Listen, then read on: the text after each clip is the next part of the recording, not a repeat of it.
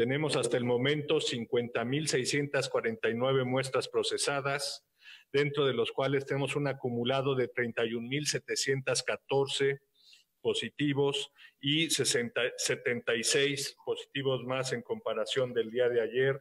Tenemos casos activos, incluyendo ambulatorios y hospitalizados, 904, repartidos en 73 municipios. Lo que respecta a la hospitalización en todo el sector, tenemos 483 pacientes, dentro de los cuales 100 requieren de ventilación asistida. Están distribuidos de la siguiente manera.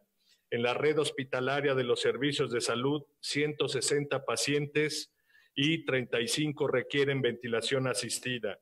El IMSS, 188 pacientes y 35 con ventilación mecánica. El ISTE, 35 pacientes y 4 con ventilación asistida. El ISTEP, 44 pacientes y 16 con ventilación mecánica. El Hospital Universitario, 5 pacientes y 2 con ventilación asistida.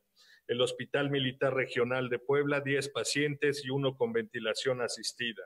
Los hospitales privados, 41 pacientes y 7 con ventilación mecánica.